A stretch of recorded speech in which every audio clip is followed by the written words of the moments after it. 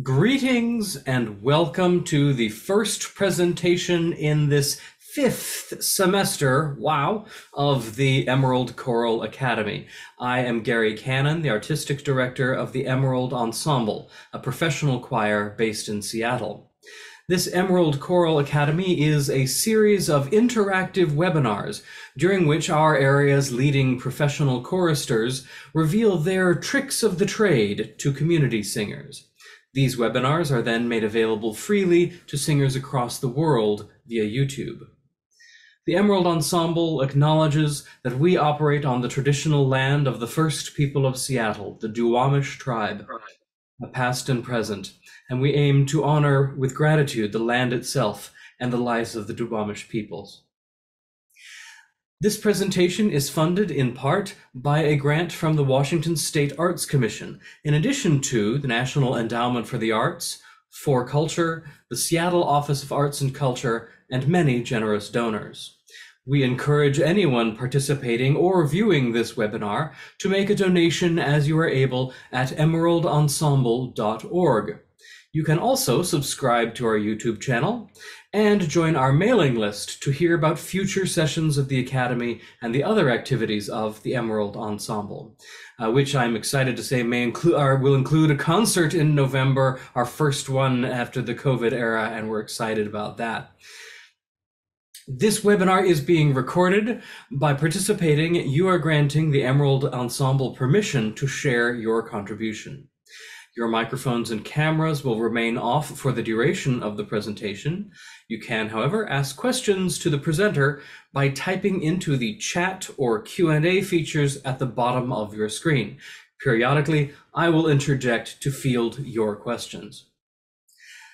I'm here today with two remarkable persons. Uh, one is Scott Kovacs, the executive director of the Emerald Ensemble. He devised this academy as our COVID era activity and is keeping it moving even past uh, that uh, that period. We're very excited that uh, that we're able to keep it going. And today's presenter is Michael Bennett returning to us. He now lives outside Boston, teaching at Concord Academy, singing with Boston Baroque, and generally just taking Boston by storm. Uh, as a Tacoma native, uh, Michael was active here in Seattle for many years and is currently a PhD candidate in music history at the University of Washington. Michael also is a linguist, so he's aptly poised for today's topic the International Phonetic Alphabet 103 Vowels. Thank you, Michael Bennett. All right. Thank you for the introduction. And it's great to be back uh, for the third of these installments that we've been doing on IPA. Um, you know, IPA is a really valuable tool for all uh, singers, choral, and soloists. And so it's um, it's my pleasure to lead these sessions uh, through the basics of this uh, lang transcription language. So I'm going to go ahead and share my screen now and get my slideshow started. And hopefully everyone can see that. So once again, this is um, IPA 103 vowels. I've taken the liberty of uh, transcribing uh, vowels into IPA as well as my name, um, and just to kind of get us warmed up. So um, as I've done with our other presentations, I'm giving just a quick overview of the content um, that we'll be covering today in today's session. So the first is just sort of defining actually what a vowel is. That sounds like a sort of um, obvious question, but it's it's good for us to kind of wrap our head around ex just exactly what we mean when we say vowel.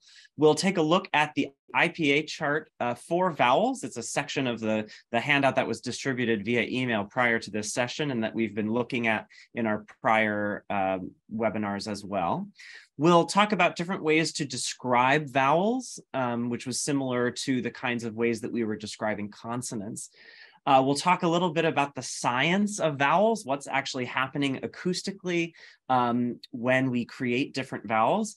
And uh, then we'll take a look at, at different um, variations of vowels. So starting with single vowel sounds known as monophthongs, um, uh, and then moving on to diphthongs. Uh, and yes, there are such things as triphthongs as well um, in English. Finally, we'll look at uh, vowel sounds uh, in other common choral languages, so languages that we often find ourselves singing in as choral musicians that uh, sometimes trip us up because they are unfamiliar to us as English speakers. Uh, and I've included a, a, series of links at the end of this presentation too, if you really want to do any sort of deep dives into some of the topics that I've talked about today. Okay, so first starting with defining a vowel. So um, uh, the, the, sort of dictionary definition of a vowel is a speech sound which is produced by a comparatively open configuration of the vocal tract with vibration of the vocal cords, but without audible friction. So when we talked about consonants um, at the end of last semester, we were looking at the fact that a consonant is an interruption of the airflow in some way, whether it's a complete stop or a partial uh, friction that's caused. Um, that's that's what kind of defines consonants. So um, a vowel is sort of the opposite of that. It's an unobstructed um, sort of uh, speech or or vocal sound that's made with the vocal tract completely open um, and then formed by shaping um, and and sort of morphing the the shape of the vocal tract. Um, this is the uh, a sort of zoomed in look at, at the IPA, the complete vowel chart on the most recent IPA chart from uh, 2015. So um, this is, it can be overwhelming to look at. It's each one of these symbols represents a different vowel sound that exists in the languages of the world. Um, so these are all you know found in some language. The ipa chart does not include um, symbols for sounds that have not been discovered. So these are all um, somewhere. I, I, couldn't tell you where necessarily they all um, exist but we'll be talking about many of them today because they do come up in the sort of um, european languages that we often find ourselves singing. Um, now, when we talk about how to describe the vowels, you can see that the chart is already labeled with a few um, key words, um, as well as this kind of uh, trapezoid type shape. And we'll talk more about where all of those things uh, come from uh, in just a moment. So one thing that I wanted to mention, uh, you know, before we we really dive in is that, you know, vowels vary widely from language to language in terms of what we call the inventory. So that the sort of total um, menu of options in any given language. So on the left-hand side here, you can see highlighted in green, these are all of the vowels um, that exist in English. Um, and you know, we we think of in the alphabet of, of our our vowels as being a, e, i, o, u, and sometimes y, right? But of course, um, as we know, English is one of those languages where the same uh, letter on the page often makes a variety of different sounds, which is why we have all of these. You know, we use different terms um, that that are not necessarily phonetic uh, terms, but when we say like oh long I or short I, um, for instance, that's that's often how we're learn we learn the vowels when we're taught um, using phonics, for instance. Um, but then you have other languages like Spanish, which really um, has only five vowels: e, a, a, o, u. Um, and uh, we'll see that that's it's very similar to Latin, for instance. And these are the vowels that we, as singers, um, tend to use for warm ups and things like that. These kind of um, you know pure cardinal vowels. Uh, so so it really just depends on the language, um, and some have have more than others. So describing vowels. So um, this these are the the words that we found on that that uh, vowel chart. So um, the first descriptor that we that we use when we're describing a vowel is uh, whether it's close or open, um, and it's it's it's not close or closed, um, but it actually is close. It refers to how close the tongue is to uh, the roof of the mouth. So is it close or is your mouth more open? another way of, of describing this, uh, which can also be used, is high versus low. Um, then, of course, so that's sort of the sort of vertical axis. Then, if we think about the kind of horizontal axis within the mouth, um, we use the terms front and back, which um, refers to where is the highest point of the tongue? Is it more forward in the mouth versus uh, further back in the mouth? And then finally, the other um, aspect of vowel are is whether or not the vowel is rounded. So um, are your lips curling around um, the vowel or not? So just to give you some examples, the vowel E, um, which is the, the IPA symbol for E is the, the lowercase i, um, is would be described as a close front unrounded vowel, whereas the vowel O would be considered a close mid back rounded vowel. Um, and the vowel ah, as the sort of bright ah, um, is open front and unrounded.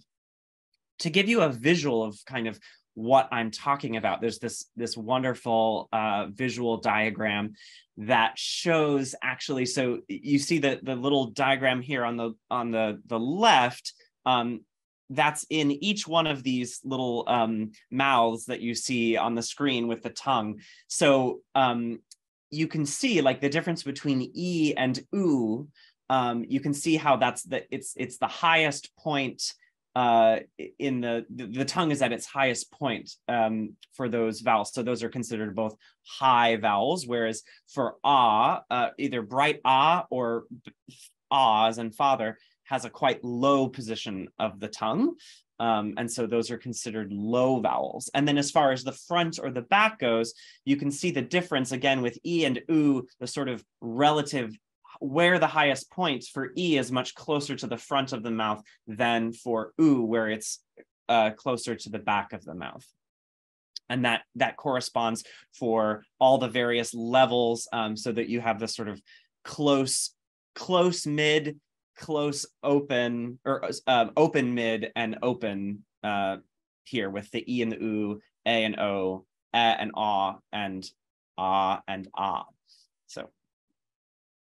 Um, if you don't believe me, which you know I'm, I'm not thinking anyone is doubting me, but I have this wonderful video to show you, which is um, actually an MRI scan of uh, various a, a, few different singers who move through those five vowels um, I, O, um, there's some variation in the pronunciation between A and E, so I, I, included both there. But it's a wonderful video to show you just exactly how the tongue moves in the mouth, and you can actually see, um, you know, the sort of demonstration of the pictures that we were just looking at.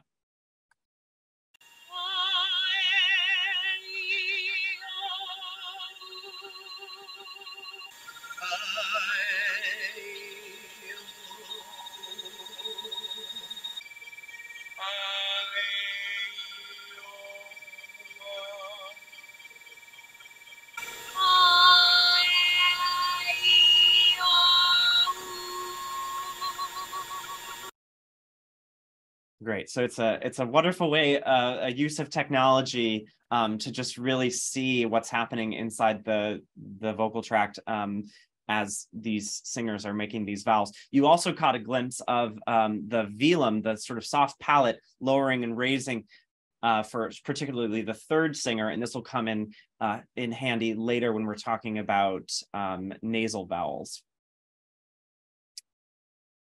Okay, any questions so far about um, the IPA chart itself, the ways that we describe vowels, um, you know, or this this business with the tongue position? No questions coming through yet, but I want to thank you for sharing those that video. That's really nifty. That's yep. a, yeah.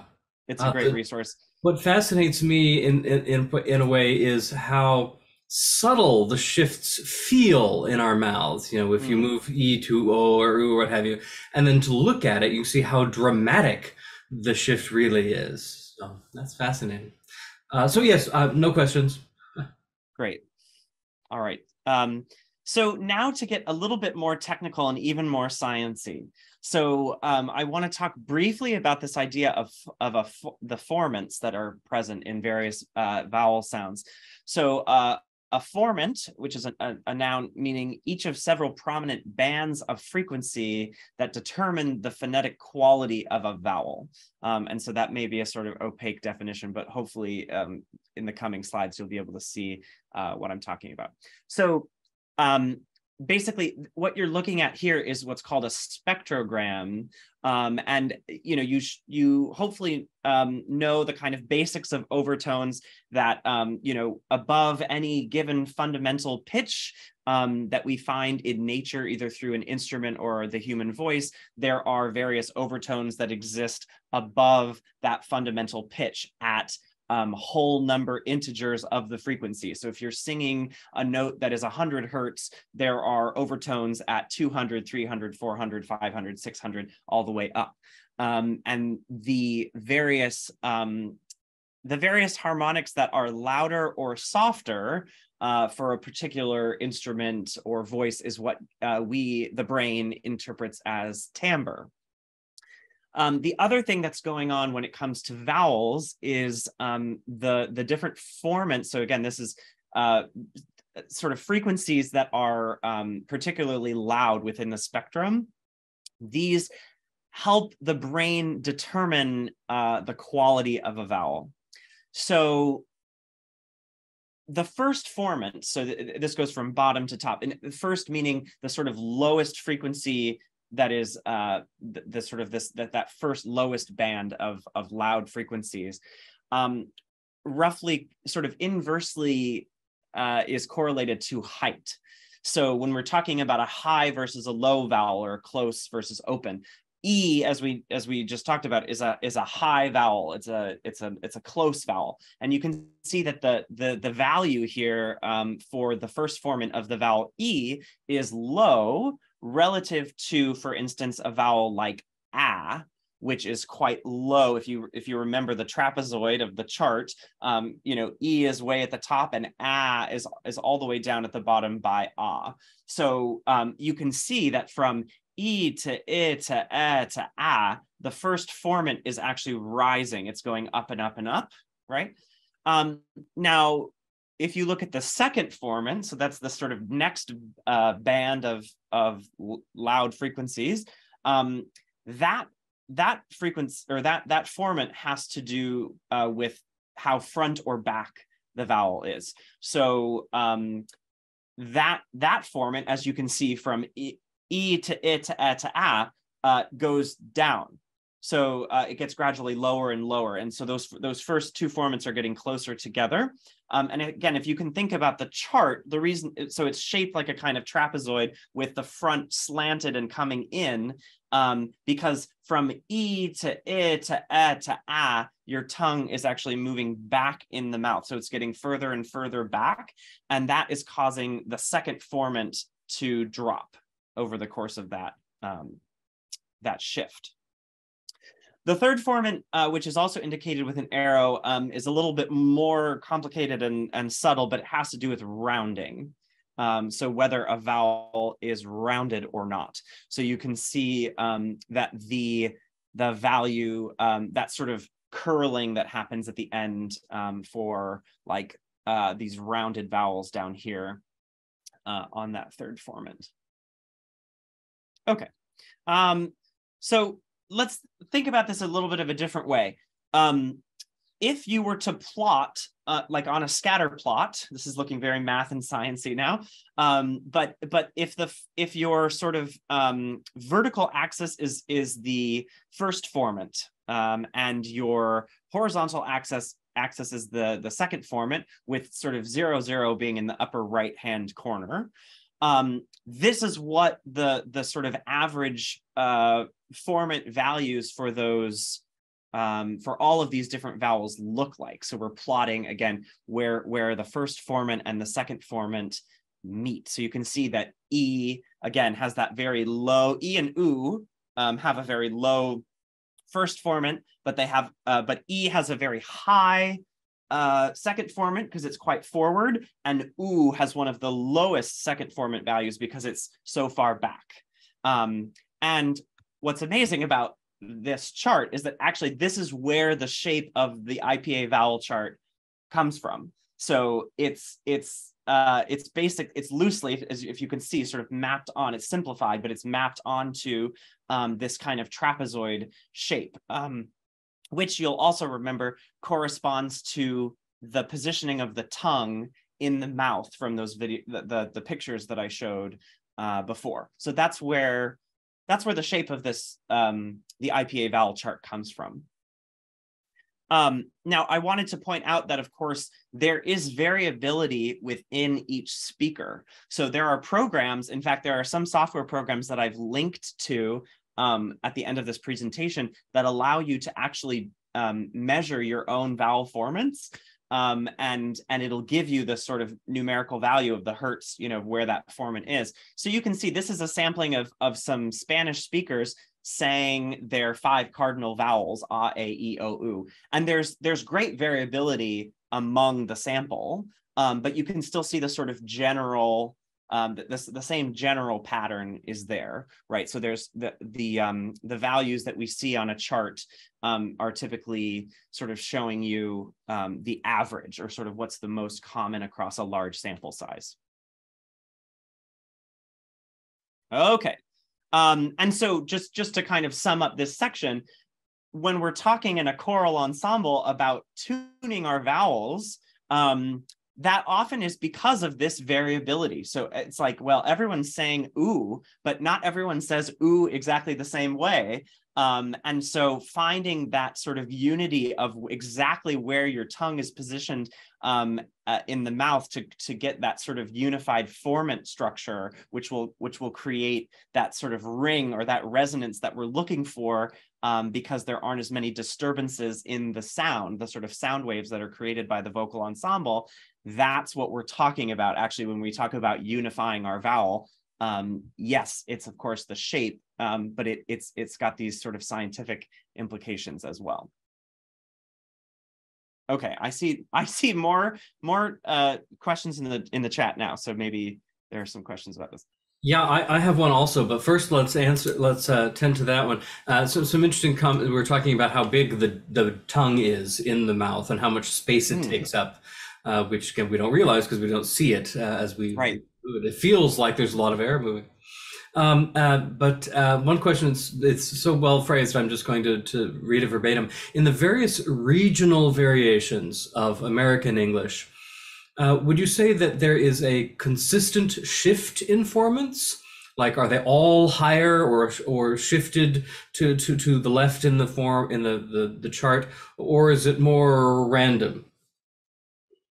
Um, no, it's definitely uniform. So so the way that that different dialects pronounce certain vowels, um, you'll see, and actually some some vowel charts, like when I pull up, um, well, we'll see this later when I'm I'm looking at uh, foreign languages, but um, the chart itself will actually show that in that language, um, there's some movement going on to where uh, you know in some languages it's like in sort of classical like if we were to you know the ideal structure it would be like e is is high and then i is next followed by a. But there are some languages where actually a is is higher than i meaning that the the second or that first formant um, for the two is kind of inverted and um, so it, it's it that's that's that sort of essence of a native speaker. It's like well when they say the vowel i it has a slightly different quality maybe than when an american says the vowel i so it, it's um that's that's the sort of very subtle differences. So you can um, you'll see when i show some of the the charts that i found and I, this was fascinating as i was preparing for this looking at the various charts. When you type you know when you search french vowels ipa chart you you kind of get sometimes you get these kind of scatter plot images of and you're like oh wow you know the the the, the sort of they're they're off from where the kind of classical um, you know model is. A, a, very a related question to deal with your your uh, the uh, uh, speaker variability uh, slide. When uh, some of those uh, Spanish speakers, there were some of the like some of the O's. One of the O's in particular is totally surrounded by O's. Otherwise, yep. to us as non-native speakers, or maybe as native speakers, would that O still sound like an O, or would it sound more like an U to our ears? Well, so a great example that I'm that I'm thinking of is the way that German when we talk about the German O or or the Midwestern O, right? Um, it's much more closed um, and and sort of higher, closer to the oo vowel than we would have in sort of standard American English, right? So it's still an O, but there's so much we you know we we sort of get at it by saying like think ooh, but say oh, or you know something like that. Um, and and so that's a perfect example. I think that particular speaker probably is saying a sort of more closed kind of uh, ooh like oh um, with that little bit more shading. Um, but but you know there again it's just suggesting that the second the, the sorry sorry the first formant is quite a bit lower for that particular speaker um, than what is sort of like considered standard because you would say the average sort of first formant is somewhere between 500 and 750 whereas that speaker is somewhere between 250 and 500 um, so but you can see there there it's also their second formant is kind of way off too so it's just a um an outlier that's cool. I wonder if like that's the one person who is, you know, fr- from the furthest south of Mexico, or fr- or is Galician Yeah. if they're if they're using classical Spanish. Spanish. yeah All right, thank you very much. Let's uh, let's keep going. Okay, great. So um, I I wanted to start with some familiar vowel sounds, which again, you know, if you're totally new to IPA, it's good to kind of wrap your head around these these vowel sounds that come from English. These are monophthongs. Um, and I've put in the bottom in orange. Notice that a couple of vowels that um, that we think of as being, oh, of course we have a, o, and ah um, in our our language, but actually those vowels really only um, occur as part of diphthongs. So we'll we'll talk about those in a second. But the sort of um, pure monophthongs um, that we use, the lowercase i, you know, as in beat, and these are largely what what what is being done here is um, uh, what are called minimal pairs. So um, it meaning that the, the difference between beat and bit, that the consonants are exactly the same. The only thing that's different is the vowel um, change. So the first four here, beat, bit, bet, and bat, right, are, are what we would call minimal pairs that you can really just hear the difference between the vowel. Um, so you've got the sort of E as, you know, as in beat, and then the, the capital I is, is I as in bit, the epsilon is is a as in bet, and then that sort of um, a and e, which we call an ash, is the a as in bat. Um, and then central, so this is organized front, central, and back. So central vowels um, are the ones that we try to avoid a lot as um, as singers. So um, we have uh, the the stressed and unstressed versions of a and er Okay, so when it's a schwa, which is that sort of upside down lowercase e that we um, hear about, and oftentimes we're putting at the end of of voiced consonants like d, you know, when we're we're cutting off a, a word. Um, but that's that's the unstressed version. So in in like the word about, right, and then um, mother, same thing. That the er of mother uh, again, some people might choose to transcribe that's the last sound as an upside down R with a diacritic that that you can put that shows that it's a syllable by itself. So mother, the kind of American R, um, but it really is a kind of rhoticized vowel, which is what that little that little sort of tail on the on the schwa means. Um, and then you've got the stressed schwa, which is the uh that we would find in but um, as well as the sort of stressed version of of er as in bird. I would, yeah, I think you see that um, more often in in British English, uh, at least that that IPA symbol, the sort of um, backwards epsilon with a with the R. Um, and then for back vowels, monophthongs, you have the oo as in boot, um, uh as in book, uh, and then these last two vowels, so ah and ah, um, and in Pacific Northwest dialect uh, and and most like sort of the whole West Coast and a lot of standard English, uh, American English dialects, cot and caught are pronounced the same way. Um, in fact, it, it has a, a specific name here called the cot caught merger, um, which is in, there are increasingly fewer people who pronounce uh, that first word differently than the second word.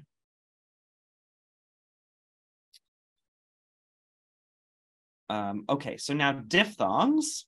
So as I said, um, a lowercase e is really only ever appears in English um, as a diphthong. A um, or a. It's it's not actually a E. It doesn't sort of make it all the way to that lowercase i of a pure E vowel uh, when you say a word like bait uh, or late. And then you have I as in bite or high. Um, notice that the, the A with the hook on it, um, which is the front, the sort of front version of an ah vowel, um, is used when it's part of a diphthong. So I and ow.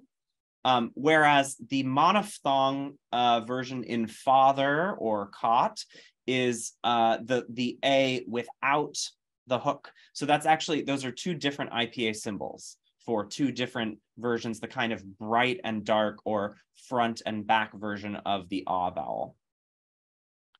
So we have I and then we have ow as in bow and how. We have o, again, that's a diphthong as in boat or coat.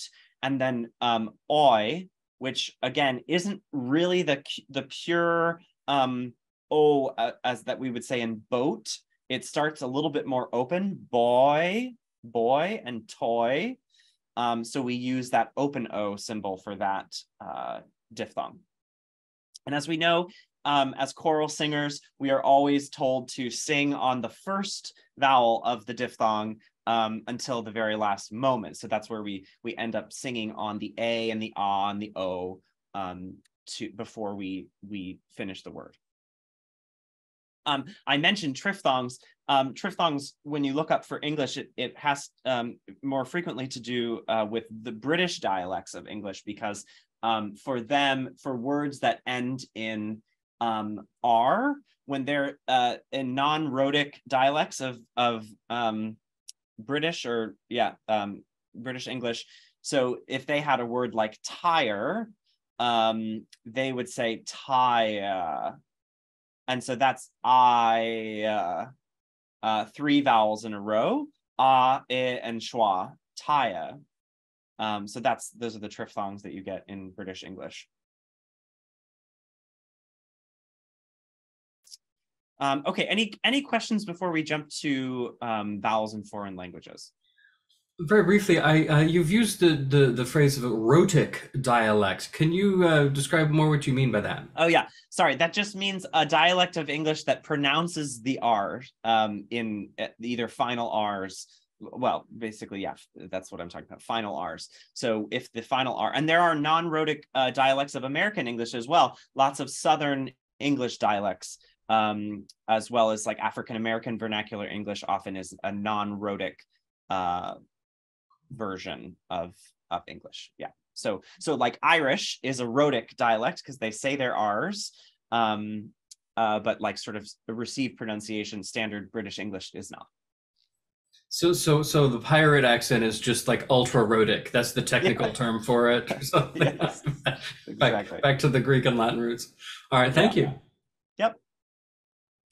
All right, so common, common languages that we, we sing in as choral singers and their various vowels. So the first, um, I, have sort of gone from least vowels to most. So um, uh, Latin uh, is a nice uh, a nice language to sing in because there are really only five vowels. And actually, if you go all the way back to the first presentation that I did um, on IPA, we used I used a Latin I uh, used Ave Verum Corpus as an example of of um, you know, IPA transcription. So these are the five uh, vowels that we often warm up on. Um, the, you know, but it's it's it's the epsilon version of of a. So rather than the closed a vowel, it's a little more open. Day, like in in um, deo, for instance, um, it's it's more of the eh, as in bet, um, and then the o similarly is more open. So uh, in that same word that I just used, deo.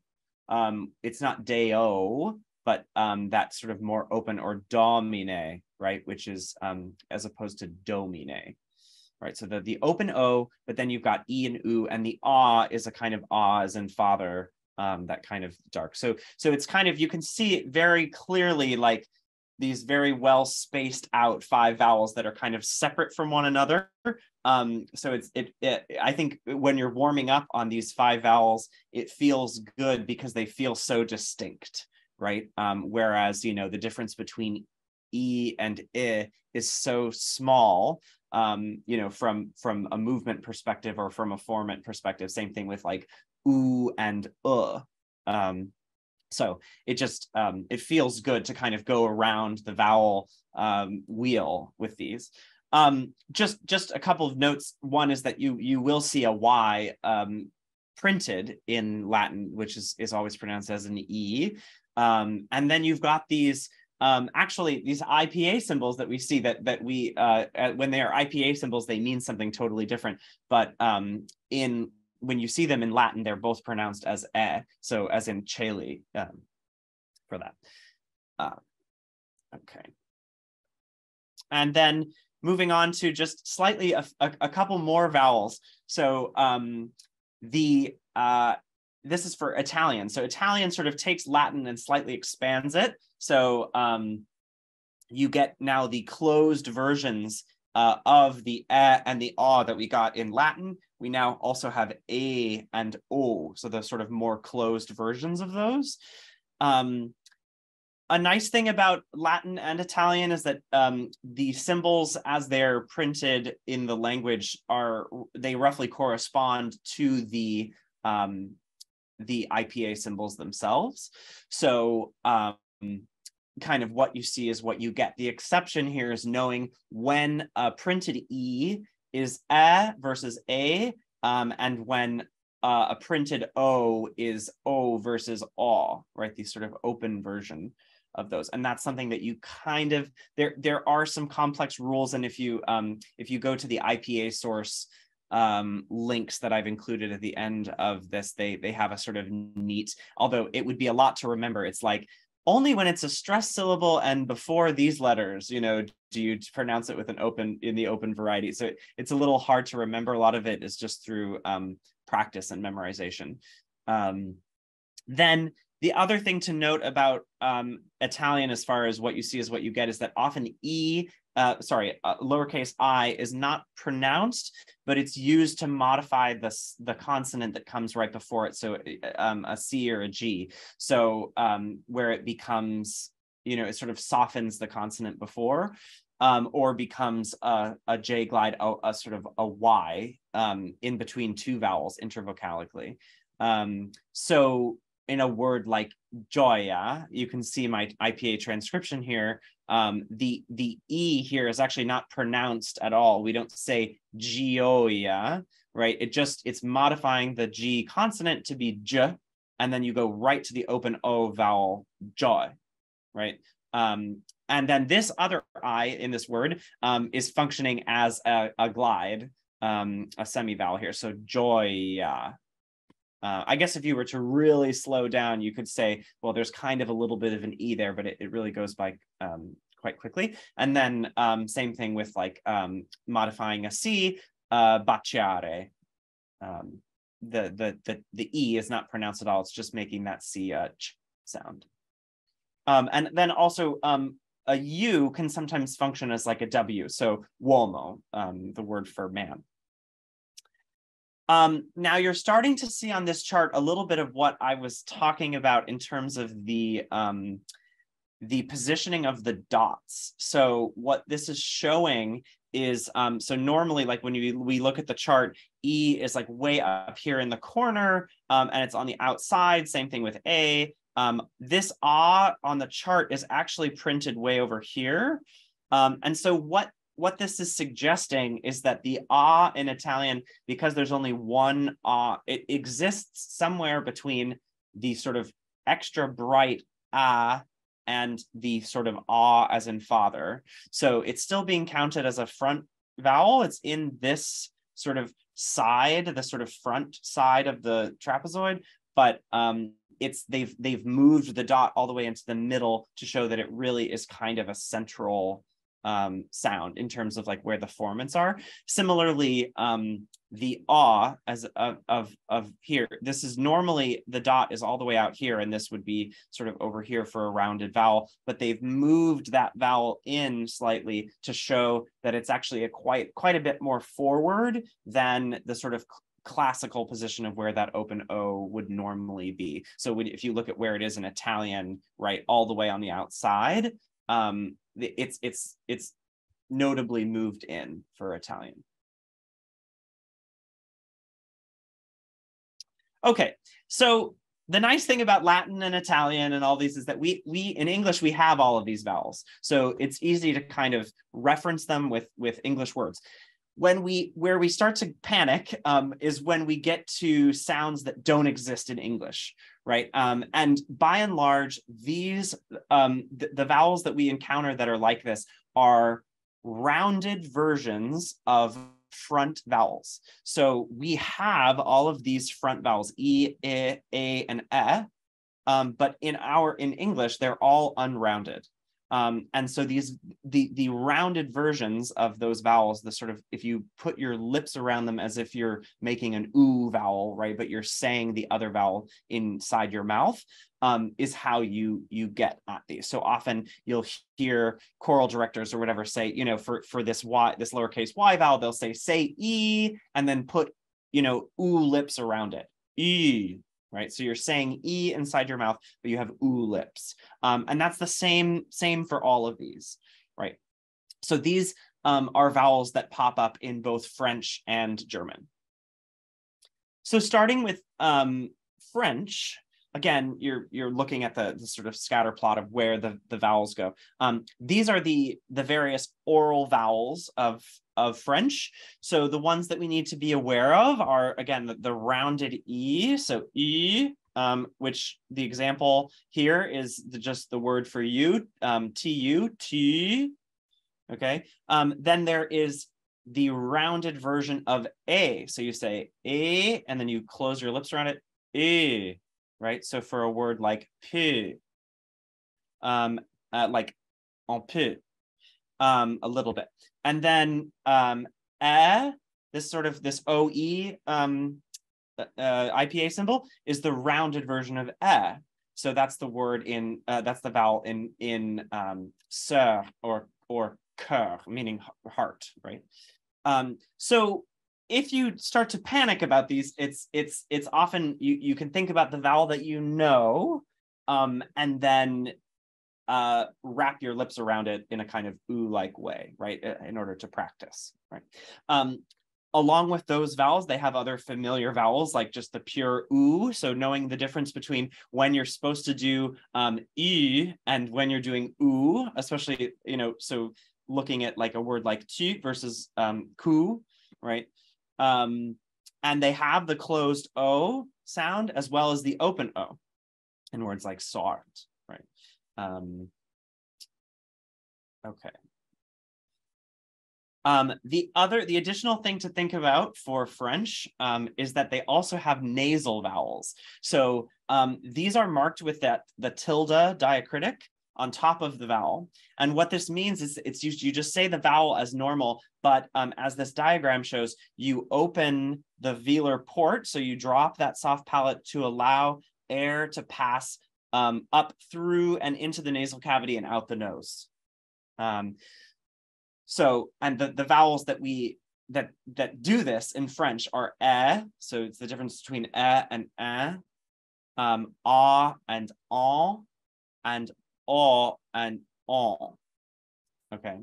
Um, now, in my research, I also I learned there's a sort of contested thing here where um, this this word, you know, the sort of single article um, meaning uh um, or one, right, um, is uh, uh, what I learned is that uh, it's disappearing in many dialects of French. So it's supposed to be the the lip rounded version of epsilon, right? So a, uh, uh is like the sort of the three ways to get there. You say eh, then rock your lips, then open your velar port. Um, but um, basically there's an assimilation happening where this vowel is usually just pronounced um, like this, the sort of unrounded version uh, that would be like the epsilon, nasal epsilon um, which I thought was was interesting. Um, so so you may see some transcriptions that use all four of those nasals um, if you want to be like very sort of specific. And there are, of course, with all of this, especially French, we sing a lot of medieval French. I'm doing a medieval or a, a Renaissance um, French piece with my chamber choir right now at school, and um, all the vowels are pronounced differently. and I had to get a, you know, the French teacher to come and, and tell me, oh yeah, well in the Renaissance, you know, they would have said it like this. So, um, and a lot of that comes out through rhyme scheme and things like that. You can tell. Um, all right, so that's French. Um, now German, um, German, you know, I think a lot of people think, wow, there's a lot of vowels in uh, English, there's a lot of vowels in French, but German really does take the cake when you look at the chart. Um, now, this is what I was talking about in terms of where there's some significant shifting going on. So, um, for instance, the the e and i vowels, which are the sort of rounded and unrounded version, um, normally these would be moved they, they, they would be here somewhere between E uh, then I, and then A. Um, but what this chart is showing is that actually when you when you do the analysis, uh, like the, the formant analysis of, of standard German speakers, um, they are not, the, the I vowel is actually uh, almost in the same place as the A in terms of where that uh, first formant is. So I, you know, I wouldn't worry too much about it, um, but just to know that, that these vowels do exist. Same thing um, the, the, it's interesting that the when you round your e vowel, um, it gets shoved so much further back just for just so it's not just about rounding, it's also a shift of the tongue in terms of um, where where that vowel is placed. Um, so in addition to the the vowels that we encountered in um, French, which was the rounded e and rounded e, uh, and rounded e, they also have e and uh, which didn't exist uh, in French at all, as well as the rounded version of e, um, e. Okay. Um, and then they have some other familiar vowels, you know, to English speakers like uh, as in book, right? Um, so they do have that vowel u, o, ah, um, ah, and then um, they have this sort of alternate version of a schwa. They have a they have a schwa as well, but there's this kind of other schwa that they use, and it's the uh, it's a lower, so it's quite significantly lower than a typical schwa, um, and it is the final syllable in words that end in er. So I put that as this last uh, bullet point here. So words like Zusa or besser um, is it's a vowel. The R is not even really there, um, and uh, they just uh, but it's it's a sort of it's a sort of un unaccented neutral vowel, but that's lower than a schwa. Um, the other thing to pay attention to, and again, you could get really, really in the weeds about this, but um, there are what we call long and short versions of these vowels. Um, and that has to do with the length um, that is given if you were to record a speaker saying particular vowels and then measure the duration, you know, get zoom in with a microscope and measure the exact duration of how long they were saying that vowel, you'll see that there's this distinction between long and short. Um, and so what's used um, is this sort of colon-like diacritic to show the difference. And what I'm talking about here is, is on this, um, this chart that looks sort of, um, it's, it's a little bit overwhelming, but you can see front, back, uh, unrounded, rounded, long, and short. Okay. Um, so for instance, um, the difference between batten and betten, um, uh, which is, you know, they're spelled differently and they have different meanings. Uh, but in terms of the IPA transcription, there's just a little bit more length when you're saying this, the A with the umlaut version of it versus uh, the ETT version of it. Um, again, very much in the weeds, but it's it's a sort of interesting thing to think about. So, um, and again, I I'm not exactly sure how or why the the sort of you know if you look at like the difference between uh Witten and Bitten, um, how you would know that one is long and one is short, I don't know, um, but it is just something to think about. In general, the kind of um, like E, you know, beaten versus bitten. Um, usually it has something to do with, um, you know, the quality of the vowel, that E versus I, uh, which is, you know, we use that too when we're talking about in English, the sort of long versus short vowel. Um, I don't know. I think the double T has something to do with it, but not always, as you can see, you know, here. Um, but anyway, so just something to be aware of if you were doing a very narrow transcription. And this also has more to do with spoken German than it does with sing, sung German, because of course, the sort of the timeline of how long you're spending on a vowel is dictated by the rhythm um, that you're singing. So um, there are also diphthongs. Um, in in German as well to be aware of I, I, and ow. Okay, so um, that's that's sort of what I wanted to lead us through tonight. But I do have just a couple of um, additional resources. These are the same. This slide is the same that was included with the consonants uh, chart. So the first is a, a, way if you need to ever type out um, these IPA symbols, there's an online tool that allows you to do that with the full um, IPA symbols, along with the ligatures that are used for uh, diphthongs and um, affricates.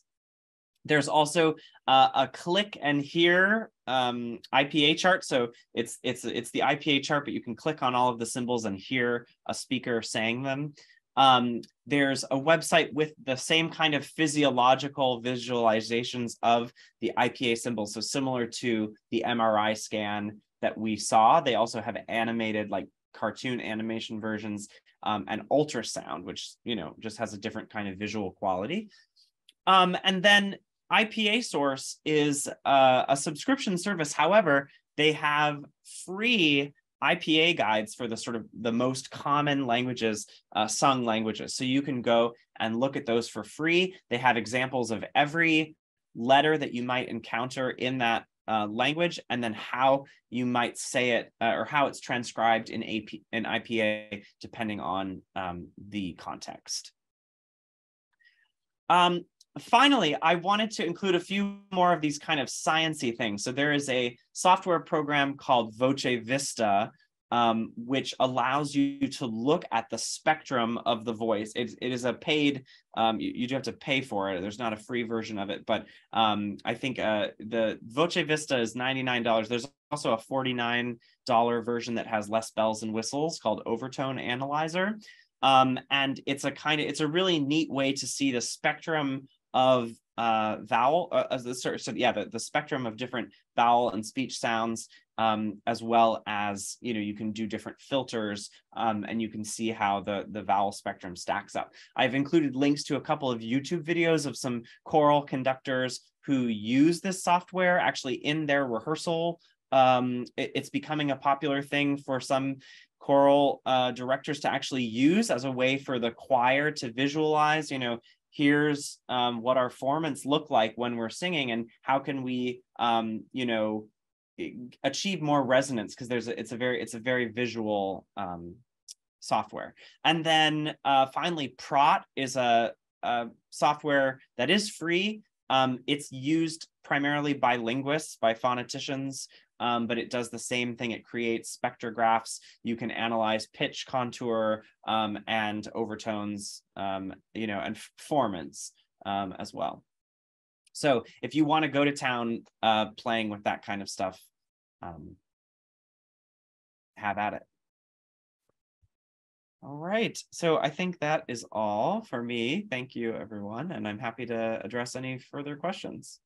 That's all so cool as as a as a prof- self-professed diction nerd, I'm enjoying this greatly. Um, uh, you talked about some some some important things um, that that that I was thinking about um, with Italian. You talked about the the vowel pairs, the kind of open and closed, like a. a. Um, I, I I lived there for two years and used to be fluent, and what I find is so often it's it's regional. Yes. And um, I was curious how much of that applies also to things like the German chart of having the mm. the different variants of uh, you know what was rounded shifting back to to behind the wrong vowels, as it were. Right. Yes, I mean when I was looking for some of the images that I used on on my slides, I had to be very careful that it you know because some of them uh, that they're captioned and they'll say like Austrian German, you know, uh, and right. and so then the the plot of vowels that I was looking at was for for Austrian German, not standard, you know, German. And again, you can get into regionalisms. It's the same thing with, you know, are we doing German Latin or French Latin or you know, I mean that kind of. So if you want to go down the rabbit hole of historical accuracy or regional um, accuracy, I think in general we sort of default to standard versions of these languages now, but you you can certainly try to be more authentic. The way I always thought it was you know, the difference between Bach German and Mozart German, but mm. then I would bring up examples like Brahms, who was from further north than Bach, and then went to Vienna, so he would have heard Viennese German. When, uh, never mind, just sing German. Um, yeah. The um, uh, I'm totally going to steal some of your stuff on French, by the way, because I'm doing a thing teaching French on Saturday. So thank you for that.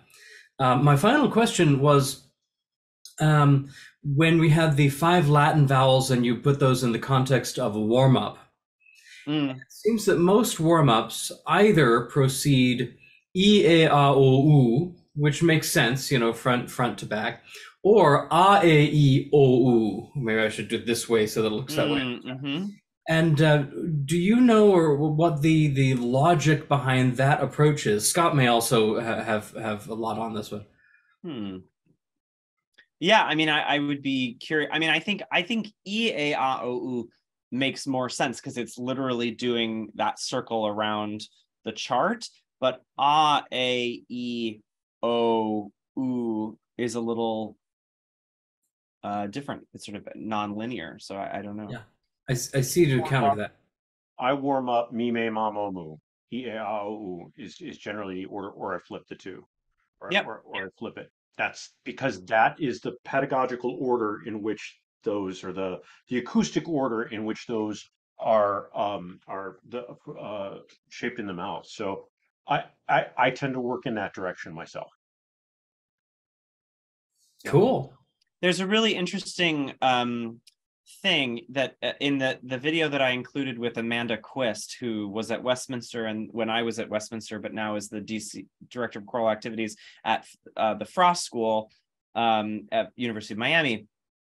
She talks about in the video that I linked to, it's quite long, so you might need to sort of skip through if you want to peruse it. But at one point, she's talking about the fact that um, she she always you know the, the value of using e or u as um, a neutral syllable if you're taking text out um, because of um, the science the sort of sciencey piece that i was talking about um, referring to the formant structure. I'll just share this again. So what she says is the the because the first formant for u and e is quite low it's usually it's close to the frequency that you might be singing um, like the, the actual fundamental frequency of the note. Um, so if you're singing, you know, a 440 you know let's say you're you're a soprano or an alto you're singing for 440 hertz you know based on this chart that first formant for an e vowel is actually really close to the the actual fundamental pitch.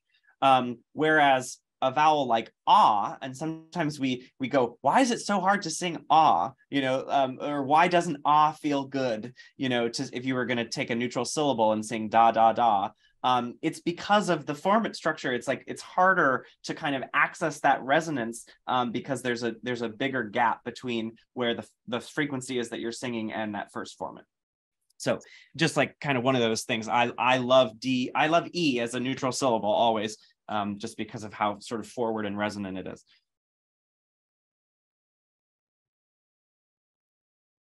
That's fan. I need to change a few things. The way I do rehearsals is what I'm learning tonight to make it fit better. Wonderful. Thank you very much, Michael, for this uh, wonderfully informative presentation. Uh, and thank you to all of our participants today uh, for your questions and your contributions. Also, uh, as always, a great thanks to Scott Kovacs for his efforts in devising this Emerald Choral Academy in the first place. Uh, we at the Emerald Ensemble are grateful for the enthusiasm of you, our audiences and supporters who have made this fifth semester possible. As the Emerald Choral Academy continues, you can help to support these efforts by donating at emeraldensemble.org. Uh, you can also let us know of topics that you would like to see discussed in the future. In the meantime, I am Gary Cannon. On behalf of Michael and Scott and all of the Emerald Ensemble, I wish you good physical, mental, and musical health. Thank you.